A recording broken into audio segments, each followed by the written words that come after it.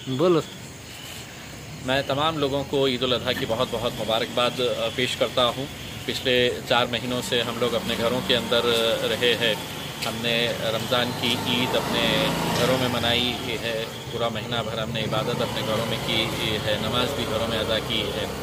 इस बार भी ऐसा नहीं है कि कोरोना का ख़तरा पूरी तरह से टल चुका है। इसीलिए ईद अजहा के मौके के ऊपर भी सारी एहतियातें बरतते हुए, सारे प्रिकॉशंस लेते हुए आप ये ईद मनाएँ ज़रूर, लेकिन ये ख्याल रखें कि करोना वायरस अभी ख़त्म नहीं हुआ है। तो जितनी एहतियात हो सकती है, वो तमाम एहतियात करें और हो सके तो अपने अपने घरों